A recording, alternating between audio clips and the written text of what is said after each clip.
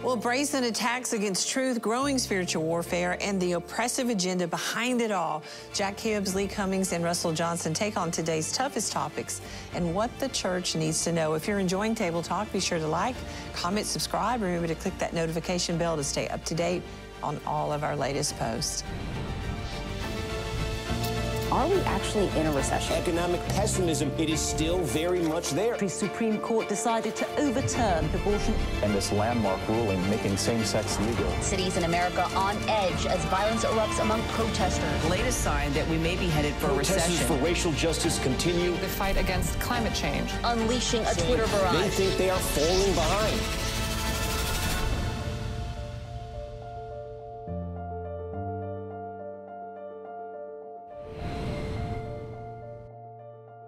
So, are we on the verge of a coming storm? Because it seems that no matter where you look, there are increasing signs of turbulent days ahead. So, what are some of the issues we're facing, and how do we, as the body of Christ, navigate troubled seasons like this? Well, with the help of our special guests, we're going to find out. But first, joining me around the table, and one of those guests, Lee Cummings. How are you? Doing great. Thank You're in you the state so of. Michigan. Yeah, People's You're going to bring Republic. us up to date on what's happening there, right? Yeah, absolutely. Okay, so glad you're here. And Rebecca Lamb Weiss. Happy to be here today. We're, I mean, we're going to talk about some cutting edge stuff. Yeah, we need stuff to be you won't hear in the news. Yeah. But people can come to table talk and hear the truth. Exactly. And the church needs to understand her role, and we are the Yes. moral authority in the earth. So we need to stand up for what is right and be clear in our convictions Preach and it, not girl. compromise. Preach it. That's my daughter, folks, right there. And here's my other daughter, Rachel Ann Brown. How are you? I'm doing good. I'm excited about the show today. The Bible talks about how we are the salt and you light had this idea for this particular of show. the earth. This Yes. is her brainchild. And as Christians, we are preserving a lost and dying world, and it's amazing to see pastors standing up and being bold and courageous uh, Mm-hmm. against a culture that is. I can't even imagine. I can't even fathom the world that we're living in today Yeah. and the things that we're having to, to deal with. Can't even imagine. Could you even imagine 10 years ago, mm. Cindy Murdoch, that we would be having what we have right now? Not even. It's honestly, there are moments I just think I really cannot even believe what I'm seeing and hearing. Yes. It, it's just like a horror movie sometimes. It really is. And from representing Washington State folks, Russell Johnson, welcome. Hey, excited to be here. Thanks for having me, Joni. We have a lot of things to talk about. yes, in ma'am. Quite a bit. Yeah, we're holding it together. And if, if, if that's not enough, we've got Jack Hibbs from California. California. Yeah, yeah, which it is one of the most beautiful states. So uh, thank you for being here. And, and we're going to kind of talk about what's going on, what we can do to get involved. Because, you know, with all the things we see happening around us, we're seeing a gathering storm on the horizon. And if so, what does this mean for America and how should the church be responding? I'll just tell you, Jack Hibbs, that there are people watching this show that they are not going to fall for it again. Because, you know, they're already talking about Right. there's another ah, pandemic coming. They're going to, you know, we're going to have to wear a mask and we're going to shut down, et cetera, et cetera. I'm telling you, I think that people are going to stand They up in a way that they never have before. Do they need to? One thing is sure is that we have uh, lost faith in what is called the expert. We learned we lost true. faith in that real quick. That's true. And so the thing is this: that um, yeah, there's another storm coming. There's always another storm coming. Yeah. But thank God for His Word that prepares us for those storms that are arriving. We're ready. But uh, when it comes to masking up or whatever the next story is going to be to control, um, I think people are, I would hope anyway, that people have had enough. And they have seen, they have discerned that uh, what was supposed to be so, uh, the science didn't uh, turn out to be Yeah, and you love science, right? do. So forcing people to take some Yeah, kind of yeah. vaccine that's not even been tested and has a controversial ingredients was insane. And now we have Mm-hmm. people who are damaged for life because of taking this vaccine. It seems to me, and I don't want to go hyper on this, but in a normal world, you would never subject a culture or a person for that matter to a, a- an experiment. But if we put everything together, the, the wokeness of the world, the vaccine craziness, the lockdowns, people losing freedoms, if you compile it all into a ball, it was this convergence of weird. Yeah. And people seemed, I don't know about you guys, or I think I can guess, we thought we knew some people. And when it hit, uh, we didn't know them. And so it has to have a profound spiritual foundation to it. Yeah. It's too big, it's too global, it's too quick. I think it's spiritually based. Russell, comment on what we are talking about right now. Are, are people going to stand up? Is the body of Christ going to stand up? Are we going to wake up? Yeah, I mean, I, I, think we have to if we're interested in, in being relevant for the next generation. You know, Paul tells Timothy, he says, the church is the pillar of truth in Mm-hmm. society. And so I really feel like we have this, you know, epistemological responsibility to tell the truth. And if we can't tell the truth, then we've lost the only platform that matters. That's right.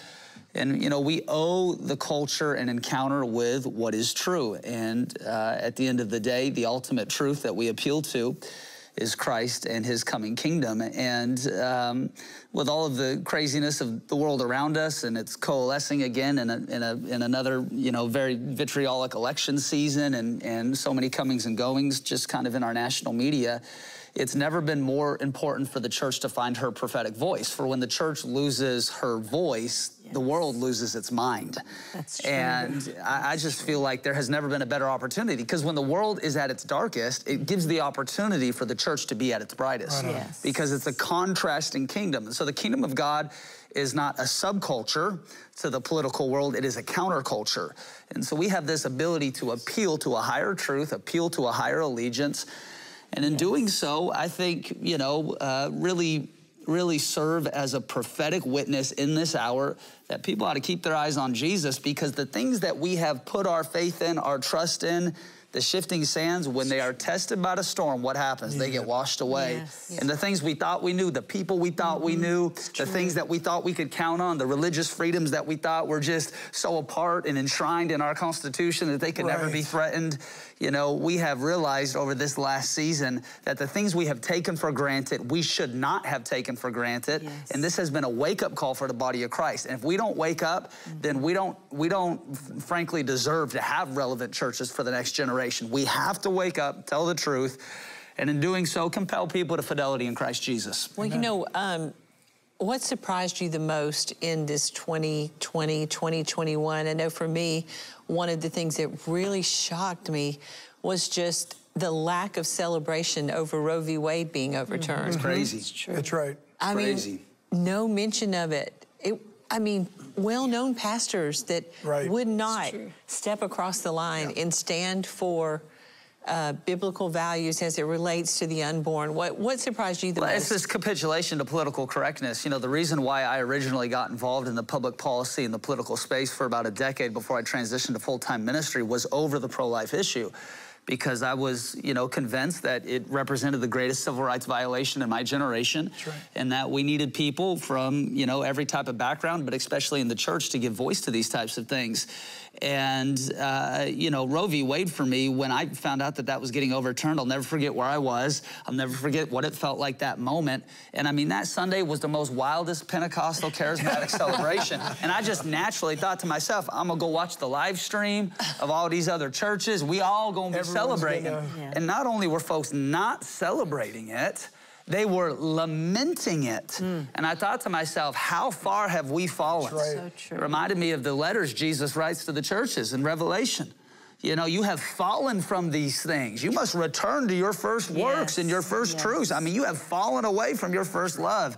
And it's almost in this effort to be politically correct, thinking if we can just kind of manage the middle and just, you know, be just a really sensitive, neutral voice. I mean, the era of political and cultural neutrality is over. Right. There is a dividing line, and I believe that we're in a season of the winnowing fan by which God, by His Spirit, is separating the wheat from the chaff and the sheep from the goats. And I'm not saying that every church has to turn into, you know, uh, uh, a, a political factory with political action committees. But if your pastor can't form one meaningful, coherent statement about the value of life, find a new church. Amen. Yeah. Because we should have celebrated Roe v. Wade, and we're still Yes. going to celebrate. And in Yes. fact, on the one year anniversary of overturning Roe v. Wade, our church attempted to take out a full page ad in the Seattle Times celebrating it, and they refused to host it because they said it's too nuclear. It's too nuclear. But I thought to myself, look, at least we're going to go down swinging Right because I'm going to celebrate that. this thing. That's right. Man, so good, so good. Did your church fight a bill in California over an abortion? We did. Can you tell us about that? Uh, the governor of California at the time, Jerry Brown, uh, heard the Supreme Court decision regarding the Hobby Lobby case. And the uh, uh, Attorney General of the state of California issued a letter. We all got it in California.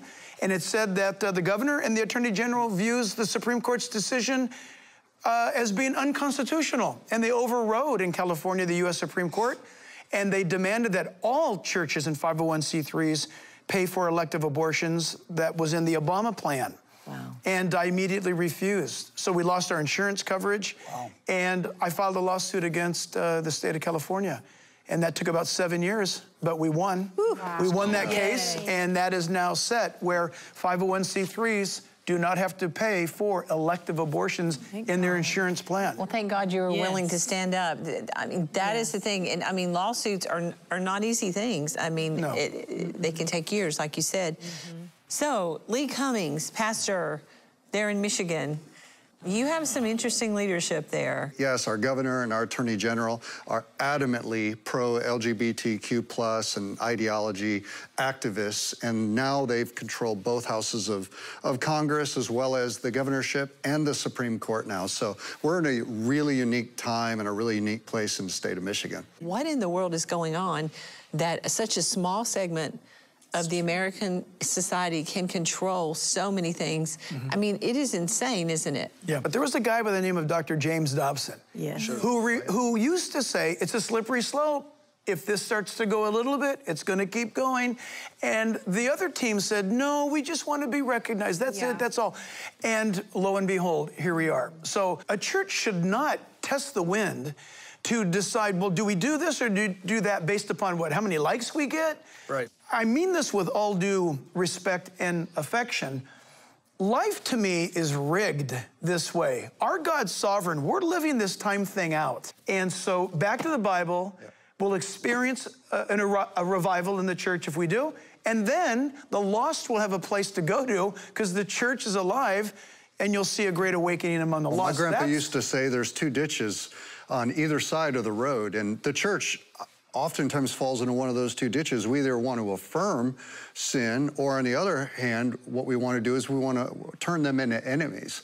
And yet, here we are as the church. We have the only good news. That's right. It's the It's gospel of Jesus Christ, and He saves to the uttermost. So we've got some people in the pulpit that won't preach truth whatsoever, and other people who are using it as a weapon Right. to try to harm people. And that's not at all who we're supposed to be either. There's nobody more loving and gracious and saving than Jesus. Yeah, it's a balance. I mean, yeah. it really is. You've got to talk about repentance. You've got to talk about sin. At the same time, you've got to understand God's grace and His forgiveness. Mm. I mean, you've got to have the whole counsel of God. yeah. And don't it's you? all in Jesus. He's all of those things. He's Yeah. grace and truth. And so, Yeah. you know, it all goes back to the cross.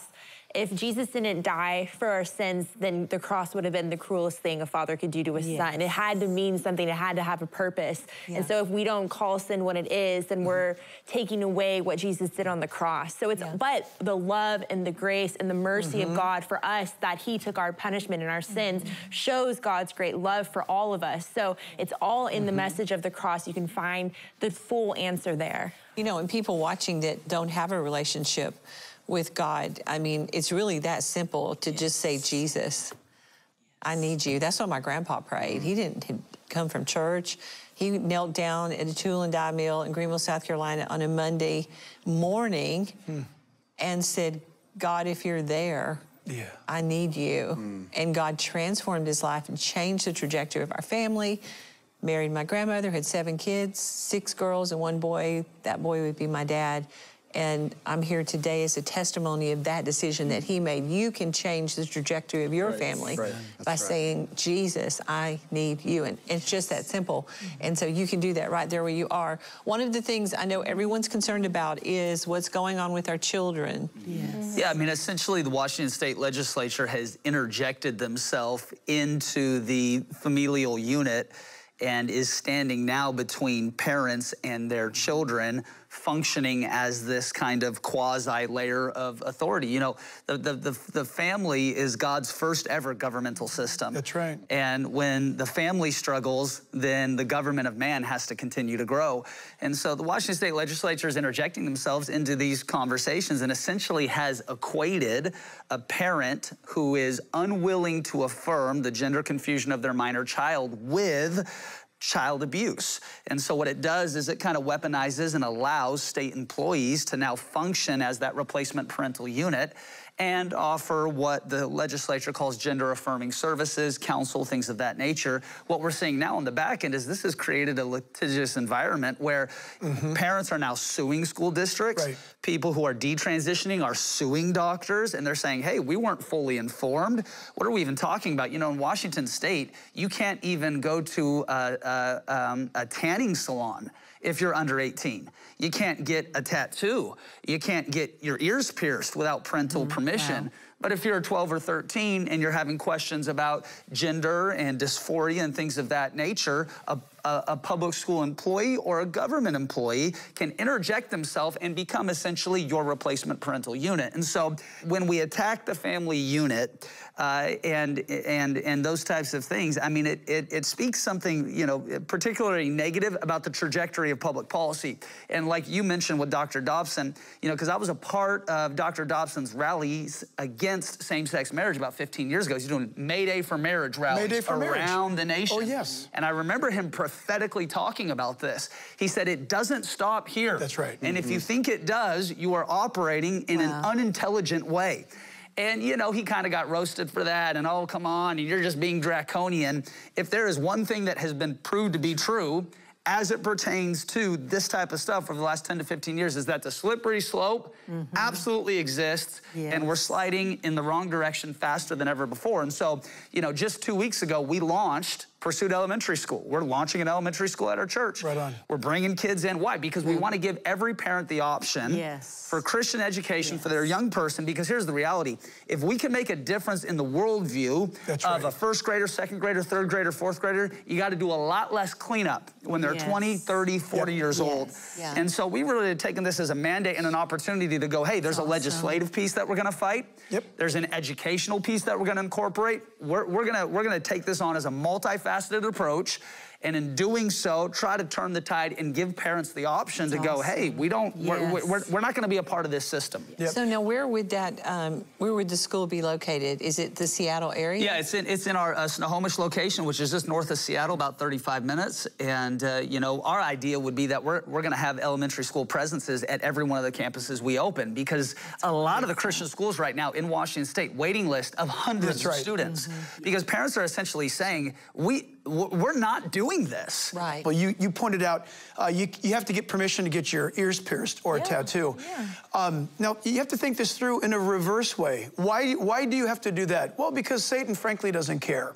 Uh, meaning, you got to get permission to get your ears pierced, but you don't have to get permission to have an abortion and your parents won't know about it. Right.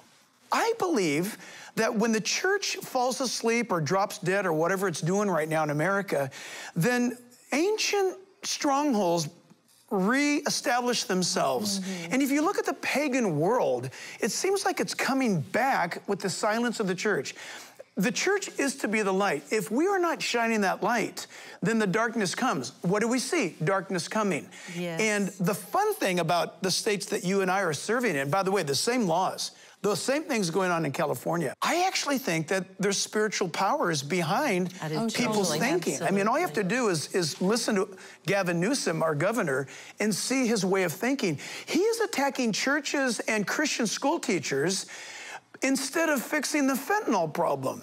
He's absolutely doubling down yeah. on faith and he's letting our freeways fall apart. That's why you know that there there is a battle going on, good yes. against evil, and there are, there are spiritual yes. uh, entities that mm-hmm. are behind a lot of the stuff that we're seeing. You know, Lee, what about all of these kids that went through these painful surgeries and now, five, six years later, they're coming out all over the internet yeah. saying, why did my parents, why did the doctor allow this to happen? Because now I realized that I was wrong. I was 13 years old, I was 14 years old, and now, you know, I mean, they're they're devastated. Yeah, and detransitioners. And if you look on social media, it's amazing how the people that are advocates for allowing minors to do this talk about you have to let them do this. Which would you rather have? Would you rather have a, uh, a living child that transitions Mm-hmm. and identifies differently, or would you rather have your child dead because of suicide because you don't allow them? Those same voices. That's right. After the fact, when a child or a young adult wants to detransition, and make no mistake about it, the uh, American Psychiatric Association, when you look in their journals and in their research, the percentage of minors who go back to their birth gender before they're in their 20s is exceedingly high. It's like 75%. So you get these kids who have surgeries early on, then want to go back. And what happens is the very same community that says you have to affirm them begins to bully them mm. and persecute them and silence them and cancel them on social media they because they the highest. don't want that. They have the highest suicide rate. Yeah. The ones that go Yeah. through the surgery. So our governor right now is, we have a bill called HR 4474 that basically is referred to as the pronoun bill. And basically what it says is that if somebody feels that your speech or the way that you communicate to them in a protected class of people, a uh, gender identity or sexual orientation group of people that are a protected minority, that if they feel intimidated, if they feel terrorized by your words or your lack of words, they can actually sue you.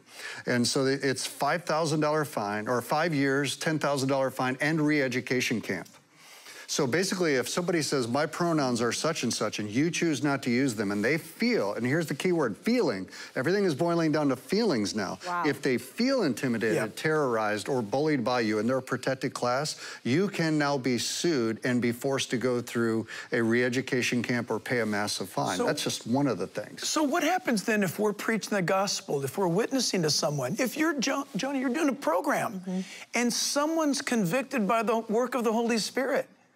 They feel uncomfortable. I felt uncomfortable when she was telling me this, or you guys were preaching. I felt uncomfortable.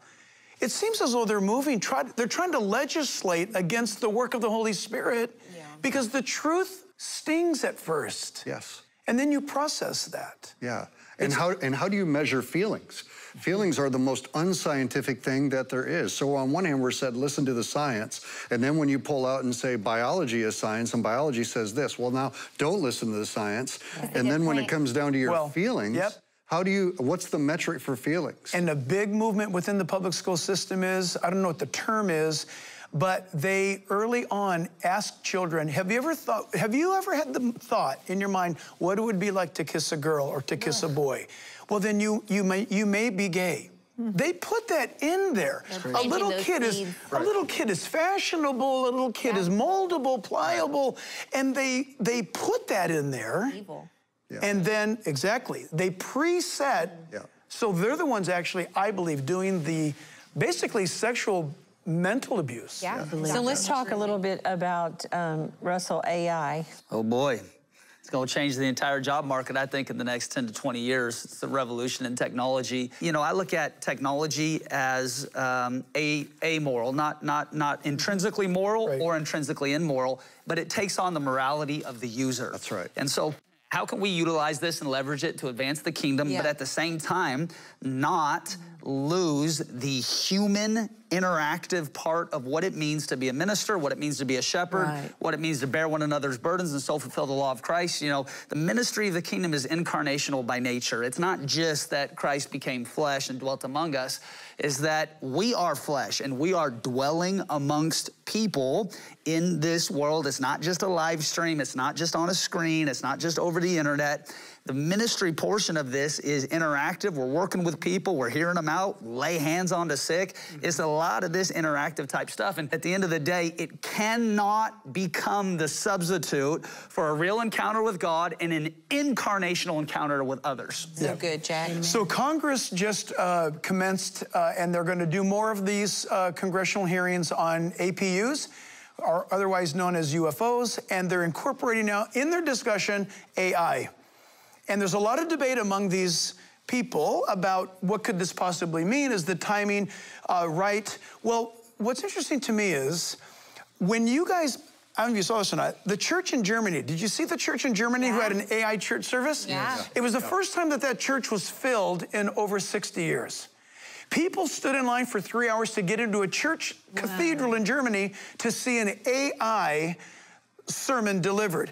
People coming out were interviewed. You can watch it on YouTube. And they were asked, What was your experience? They said it was very fascinating. It's kind of exciting. However, it was extremely impersonal. It was obvious that I'm not talking to something that is real. And it caused me to think this thought. Revelation 13, he performs uh, signs so that he makes fire to come down from heaven and earth in the, in the sight of men. He deceives those who dwell on the earth by the signs in which was granted him to do in the sight of the beast, telling those who dwell on the earth to make an image to the beast who was wounded by the sword and lived, and was granted power to give breath to the image of the beast, that the image of the beast should both speak and cause as many who did not worship the image of the beast to be killed. What if Paul was correct in the book of Corinthians and says, when you bow down to idols, you're bowing down to demons? Mm-hmm. What if a demon possessed mm-hmm. an AI device? Mm-hmm. What if the idols of the old we create an idol today. Man is making a God in his own image. That's what AI is doing. Joni, what's really interesting is Romans chapter one uh, and is all mm. about an inflection point in a society. And I think that's where America is at right now. We're at an inflection point. Romans one is all about an exchange. We exchange God for idols. Yep. We exchange truth for a lie. And then ultimately we exchange even basic natural things like sexuality for a counterfeit version of that. Mm-hmm. And when you see a society that's at that inflection point, we can look at these things. We know from the book of Daniel, knowledge is going to increase. Mm-hmm. We're the first generation, literally alive on the planet, that has seen the reverse of the effects of Babel thousands of years ago. We're right. actually the only generation that's ever seen that. And so many people are fearful of that. They're just like looking at AI and they're looking at what's going on. And yeah. I pastor thousands of people and they'll say, Pastor, you know, what should should we do? It's like, lift up your head. Amen. Because when we begin to see these things take place, it's an acceleration towards something. Yeah. And this is not like God's out of control. God is going to, if, if AI is going to be a dominant part of our culture in the future, the thing that it can't reproduce is the anointing. Mm-hmm. that every That's believer true. carries. And it's so an opportunity right. for the church right now to kind of lift up our heads, lift up our perspective and our viewpoint, yes. and say, yeah, we see darkness is on the rise, but you know what? The church is on the rise. And this so, is an opportunity for yeah. us That's right. Up. And God has allowed us to live here in this season for this time. Yes. And, um, you know, we've got to be found faithful and we can operate in fear. That's so, so very important. But we're out of time. We could keep talking forever with these guys. so Will y'all come back and we continue yeah. with some more Love stuff? We are out of time, but I want you to remember that no matter what we see going on around us, the Lord has not given us a spirit of fear. And I'm glad you ended on that, Lee. It's so important. So you don't need to be afraid. He is on the throne. I heard somebody say he hasn't fallen off the throne. If you're watching today and you want to have more boldness to stand for truth in these troubled times, or, or maybe you are dealing with fear, that's why that prayer line number is on the screen. We have amazing prayer partners standing by uh, to pray with you, encourage you. If you prayed the prayer earlier, invited Jesus into your heart, uh, we'd love to send you a free book called Now What? And uh, hey, this is a great new beginning for you, and not a better time to come in yeah. than right now into the light of His love and know that Jesus said, I'll never leave you or forsake you. I'll go with you to the end of the world. Yes. That's a pretty great promise. Mm-hmm. Thank you so much, guys, for being here. Let us know how today's Table Talk touched your life. Leave us a comment on Facebook, Instagram, Twitter, or YouTube. We love hearing from you. Thanks so much for watching. Be encouraged today. We share these things, but we want you to know that God is still in control. And really, our best days are ahead. We do believe the end time harvest. We do believe there is an awakening coming. And it's an opportunity for God to use you in your workplace, in your home. I mean, with your family, people that you haven't talked to about Jesus, they're just waiting for you to stand up and say, you know what? I am going to be obedient today and talk to this person about the Lord. Do that today. Be found faithful. We'll see you next time. Bye bye for today.